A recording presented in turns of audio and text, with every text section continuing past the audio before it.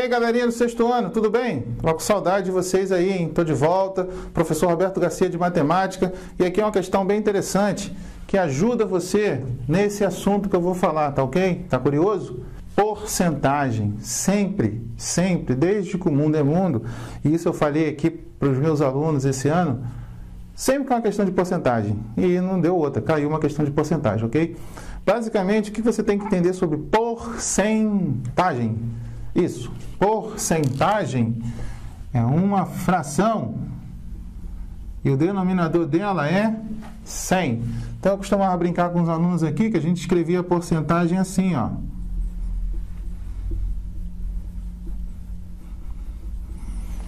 Entendeu? Para você lembrar de que esta palavra gera uma fração que tem um numerador que tem o denominador 100. Então você tem N porcentagem, né? ali está o símbolo de porcentagem, ok? Bom, é um problema. E aí é uma situação um problema. Então a gente vai ter que ler. E ao ler, a gente vai começar a definir as estratégias para poder resolver. Mas antes, isso. Pausa o vídeo aí e tenta fazer. E aí, conseguiu? Ou ficou aí no celular? Não, não, não. Celular não combina nesse momento com o estudo, tá ok? Então, se você puder deixar ele um pouquinho de lado, vem contigo. Em uma escola foram distribuídos 120 cadernos. Tio, essa pergunta, essa informação é importante. Pô, cara, o que, que você acha? Claro que é. E o que é importante a gente sublinha. E você daqui a pouco vai ver o porquê que é importante. Entre 20 crianças. Tem número aqui do primeiro ano do turno da manhã. Pergunta: qual é? É essa aqui o número de cadernos que cada criança recebeu. Eu vou dizer de novo. O número de cadernos que cada criança recebeu corresponde. Aí vem o show aqui, ó. A que porcentagem do do isso? Total de cadernos.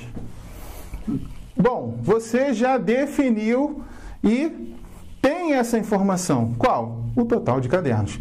E na porcentagem, o nosso total maior, se é que eu posso dizer isso, é sempre ou vai ser sempre o nosso 100%, tá ok? Tio, li, você sublinhou aí, vi as, as, informações importantes, mas não entendi nada. O que, que tem que fazer? Bom, simples. Você vai pegar 120 cadernos, então imagine você, você.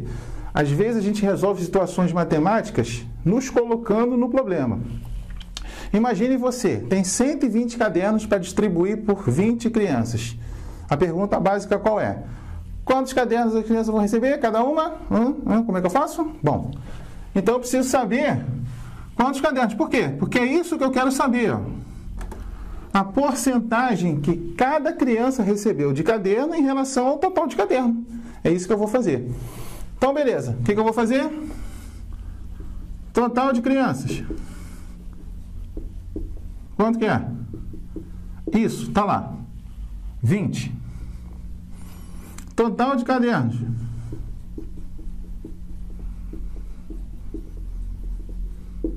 Está aqui. 120. Como é que eu descubro então quanto caderno, quantos cadernos cada criança recebeu? Então, ó, vou escrever assim, ó. Cada criança. Quanto que ela recebe? 120 cadernos dividido por 20. Então ela recebe 6 cadernos. Cadernos. Então cada criança recebeu 6 cadernos. E é isso que eu quero saber em porcentagem. Qual é a porcentagem que define 6 cadernos em relação a 120 cadernos? Ih, professor, eu não sei fazer isso. Vou te dar uma dica. Vai aparecer aqui. Ó, acho que apareceu, dica. Vamos lá. Toda vez que você tiver que resolver um problema de porcentagem e te pedirem essa porcentagem, ou seja, parte do total para você definir a porcentagem, o que, que você vai fazer? Você vai pegar essa parte, isso, e dividir pelo total. Quando você fizer isso, você vai ter, uma, vai ter um valor. E aí você vai multiplicar por 100 e vai encontrar a porcentagem. Professor, muito bonito que você disse, mas eu não entendi nada. Então vamos lá. Eu não quero saber a porcentagem que cada criança recebeu, o número de cadernos que cada criança recebeu em relação ao total? Sim. Eu não já sei quanto, quantos cadernos as crianças, cada criança recebeu? Sim, são seis. Então, que porcentagem que eu quero saber? Eu quero saber 6 em relação a 120. Então, eu vou dividir 6 por 120. Opa, peraí, estou começando a entender. Aquilo tudo que o senhor explicou aí bonito, né, com, com uma linguagem bem interessante, é se eu dividir 6 por 120 e multiplicar por 100, eu vou encontrar a porcentagem? É isso aí. Só que agora eu vou te dar uma dica, uma técnica, né? Se eu simplificar isso daqui, porque olha só, eu acabei de falar que a porcentagem é uma fração que tem um denominador 100. E aqui é 120. Ah, professor, é mole, eu diminuo 100. Não, não, pelo amor de Deus. Não diminui nada aqui não. Presta atenção. Esse denominador é 120. O aqui é 100. Então eu tenho que manipular isso daqui para tentar sumir com esse denominador 120 e aí tentar encontrar de uma outra forma. Então o que, que eu faço? Eu simplifico essa fração. Como? Divido os dois termos por 6 que é o MDC entre eles, tá bom? 6 dividido por 6 dá 1, 120 dividido por 6 dá 20. Professor, agora eu entendi. O que, que você vai fazer agora? Isso daqui que eu quero descobrir em porcentagem. Então, o que, que eu vou fazer? A minha porcentagem é uma fração que tem um denominador 100, não é isso? Ora, eu insisti tanto com os meus alunos aqui que eles acabaram aprendendo. Então, eu vou insistir com você também para você aprender. Como que o camarada saiu de um denominador 20 e chegou no denominador 6? Ele estalou, 100, ele estalou o dedo? Não. Ele multiplicou isso aqui por quanto? Isso aí, por 5. Como que se descobre isso? Pô, divide 100 por 20, tá? Raciocina também, ajuda. 100 dividido por 20 dá 5. Ora, aqui também tem que ser multiplicado por 5, senão vai alterar a fração. E olha o que acontece aqui, ó. 5 centésimos é uma fração equivalente a um vinteavos. Ok?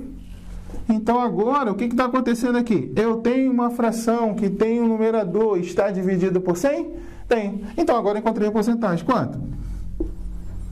5%. Ou seja, seis cadernos correspondem a 5% do total, que é 120.